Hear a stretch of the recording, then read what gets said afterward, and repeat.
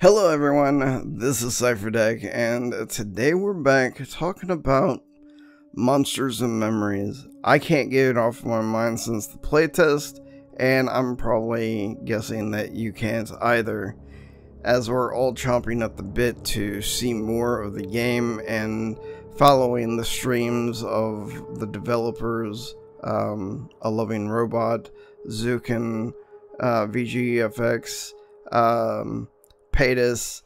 I um, I know I'm missing one more, and I hate the I hate myself for it.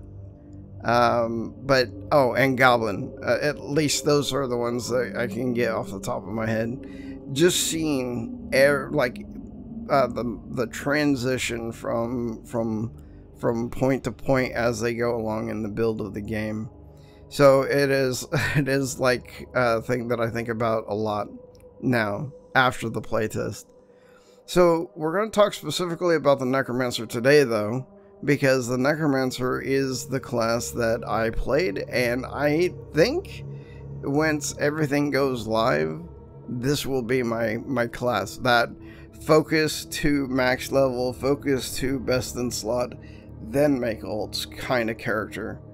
Um, just because of the fact that it seems like it, it fits my playstyle grouping or solo, uh, I will always have the ability to do something at least. So let's start by talking about the different races that can be the Necromancer. So the first three are the deep races. So you have the deep dwarves, elves, and gnomes, which can be Necromancer. Then you can have the gnome and the human, and finally, the one that's kind of odd that sticks out to me is the ogre. Now, during the playtest, I went through and I checked every race and what classes they could be. I am 100% sure after looking back through my video, there was not Necromancer listed. So it was not an option. So I'm wondering if they're still um, as they're building the class, as they're balancing spells, if they're deciding if that's going to be an option or not.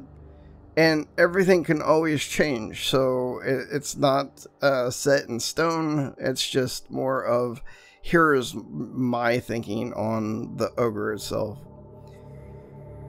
So I don't see it completely out of the the reign of being or possibility because of the fact that in Dark Age of Camelot there is a bone dancer. And one of the races that can be a bone dancer is the troll which is the largest race in the game. They do have higher health. They have higher stamina. Uh, they have higher strength. But as all mmos do uh, stats don't always mean everything. Uh, you have a boost starting your your class with that uh, that race, but through gear, everything does have a max point. So 255 strength is your max, or 255 stamina is your max. You will be able to reach the same endpoint as, say, a, an ogre it's just going to mean that you're going to have to work harder at it. You're going to have to find those items to do so. So I'm not really worried about it on that front.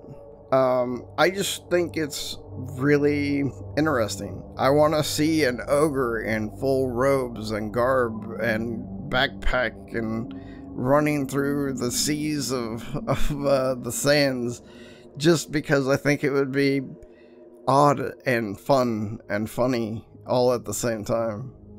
So, uh, while it is the kind of sticking out of all the other small and medium races, it is still kind of funny uh, that it is there. Uh, so, class uh, itself, I wanted to compare it to different classes that I've played as far as necromancers in different games if I don't mention a game that uh, you've played that had a necromancer, I'm not um, doing it on purpose. I'm just going based off of my personal information, playtime, and understanding. Um, so the games that I'll be talking about mostly are EverQuest, EverQuest 2, and World of Warcraft. There's a video that talks about every class, so um, and how they are be, to be perceived as a class as you go through the game. One of the things that caught my personal uh, eye is that they talk about the pets. So in EverQuest, uh, at least in classic or as classic as you can get, um, you have uh, four types of pets as a necromancer. You have the warrior pet. You have the well, it's actually three uh, uh, classes, but uh, there is a, a fourth kind of change up so you have the warrior, you have the rogue, and you have the monk pet. You don't get those until later. You pretty much have a warrior pet throughout the whole game, and then you'll. I think you get maybe one or two monks, uh, one or two rogues, um, and then you get the specter at level 59. So that's the change up. Spectre is the biggest pet. It has the highest uh, life tap. It is just the, the end all be all. And also, it isn't a skeleton, it is a big old Spectre. So, what they said in this video is that they plan to have different types of pets sooner. It kind of, kind of not withholding like the Spectre kind of uh, pet to the last uh, kind of thing. But they didn't really go into specifics, so here is here's some specifics I've seen in other games. So as EverQuest, EverQuest 2 had three pet types, but they were different. You had the melee DPS, which acted like a rogue. Um, it did more damage by positioning. Um, it had very little hit points compared to, say, your tank pet, but uh, it was really good DPS if you were in a group. You then had a mage pet, and the mage pet was kind of the same thing as as the uh, the rogue pet or the melee DPS pet except for the fact that instead of engaging with melee, it stayed back and casted with you um, during fights. And then finally, you had the, the behemoth, the tank uh, pet, and through the way they designed the class, if you did any kind of negative effect, lowered the resistance of the mob, or um, snared them, or anything along those lines, it would heal your pet by I think it was 75%. so it was really hard to kill your pet. That said, you couldn't kill um, the hardest mobs uh, of your level. You you could kill the like the second hardest if you if you know what I mean. Then you have World of Warcraft, which completely changes up what pets are. So in World of Warcraft, you know, you have the imp. That's your little DPS. Um, sh shoots fireballs, increases the damage of your group, I believe. And then you have your Voidwalker, which is your tank. And then you get weird ones like Succubus, which messes mobs. You get a Phil something. I I can't remember the name to be honest. That I think stops casting from from different mobs, and then you have another pet I can't think of. But you had these types of pets that did different things for different kinds of situations or groups uh, you were in. I don't know how Monsters and Memories is going to go about the pets for the Necromancer, but because of that video, it got me really intrigued, and I'm I'm really uh, hoping um, to see something that I haven't seen before or a different twist on what I have seen before. Um, as far as the rest of the class, you do get life taps, you do get Lich, uh, hit points and mana, You do get Twitch, um, transfer your mana to another person. Um, you get a long duration dot, you get a snare dot, um, and then there's other spells I don't know. I didn't see a pet haste. I didn't see conjure corpse, though I did see a reagent merchant that's sold coffins. So those spells may just not have been added during the stress test. Uh, but uh, I don't know. I don't know where they're going to go with the necromancer, but again, I'm excited either way. The last thing I really wanted to talk about was the quests and how they did the quests. I feel it, it may have been different for everybody else and every every other class, but this is how I saw it. So, as everyone else, you get your note as you start the game. It leads you to the necropolis, where you hand in a note and you get a bag and it says to bring um, items that you get from the skeletons in the necropolis to this other person. So you get uh, get the items, you do the turn in, and finally you get your robe. But you get one more piece. And I'm going to talk about that one more piece after this next quest. So that's the first quest. Then there's this other quest that I saw as you go into Necropolis, and I think the person's name was Everett. It's the very first person you see as you go into the building, and you talk to him, and he tells you uh, the story of having an, an apprentice who is lost, but his pet was found uh, wandering the halls of Wyrmsbane, the tomb that's nearby. So I'm really interested to see, first off, Wyrmsbane itself. I, I walked into the zone, I uh, walked around a few corners, and then when I noticed I was on a plank over a hole, I turned around and said, Nope, uh, not me, not right now. I'm only level 3, and this just doesn't look like the place for me to be right now. So I turned right back around and left. That said, before I left, I did do a who.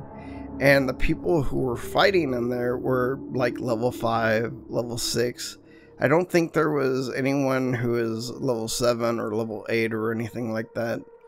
But, uh, so that kind of gives you the level range of the zone. Anyway, you have to go there, you have to find the apprentice's pet, and then, um, I guess, bring back some kind of way to signify the status of the, the assistant.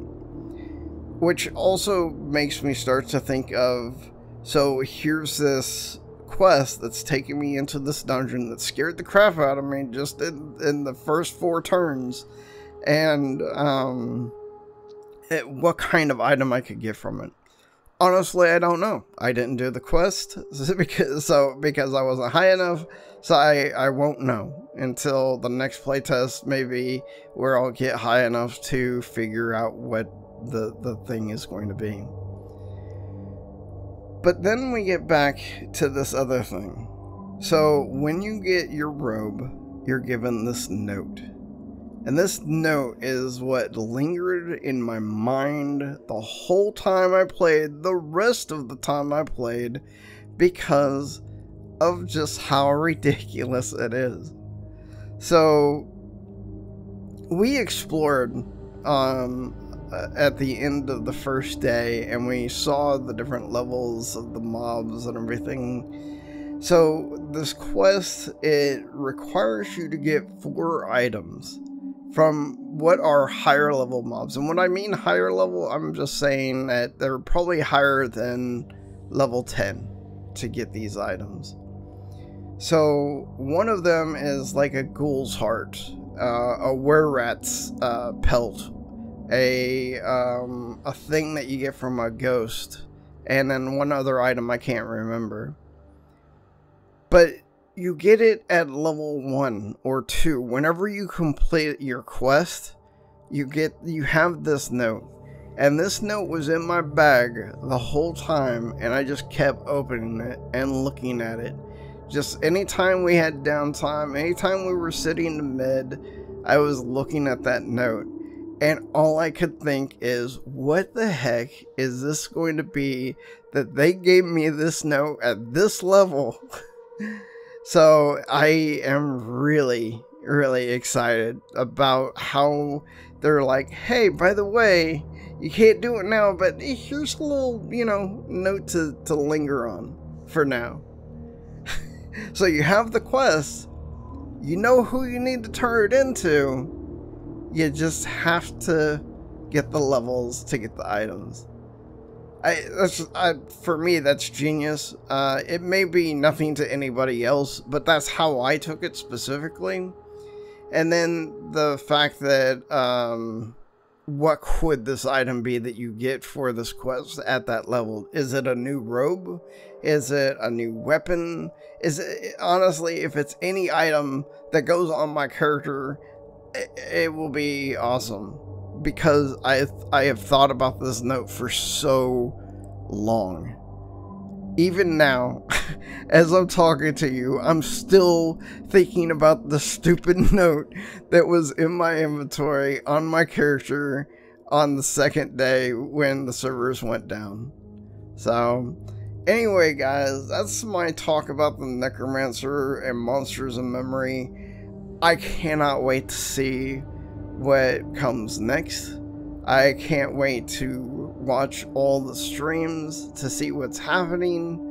And uh, yeah, I just I hope you guys are in the same mode. I I know that it's kind of this this point now in in life where we kind of get jaded after seeing game after game, you know, regress Pantheon. I'm sorry, don't really mean to throw that out there, but I do because they've really gone backwards, I feel. But anyway, the, let's put that aside. The fact that we can see them actively working on this game day and day through their streams just keeps me motivated and ready to play this game. So, thank you all for watching. I hope you enjoyed. See you in a crypt somewhere. This is Cipher Dec. Peace out.